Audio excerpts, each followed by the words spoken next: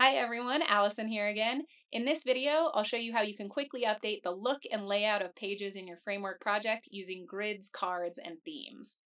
First, let's talk layout. Here's an existing Markdown file where I'm creating a project page.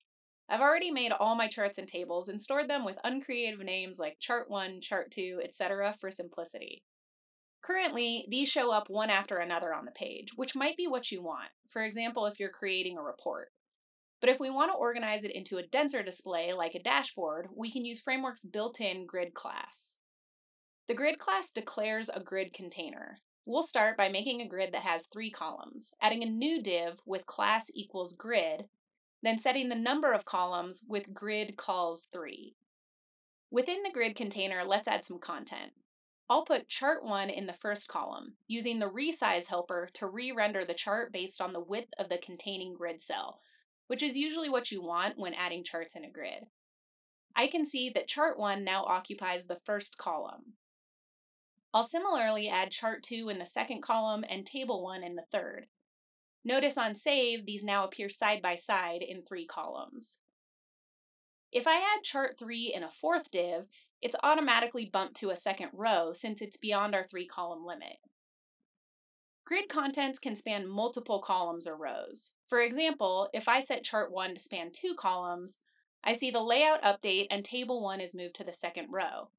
If I want, I can change chart 3 to also span two columns, which completes my grid.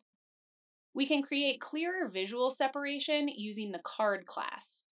I'll add the card class to all the charts and tables in my grid, but you could just add it to a couple. Now we see that they have a nice background and border delineating the content a bit better. The grid class is also responsive, so the layout automatically adjusts if we narrow the window or, for example, if we view it on a mobile phone. Also, we're controlling the grid here by columns, but you can similarly set the grid layout using rows. All right, now on to page themes. In Framework, there are a number of custom designed built-in themes for you to use. The defaults are the air theme in light mode and the near midnight theme in dark mode, which change based on a user's system settings.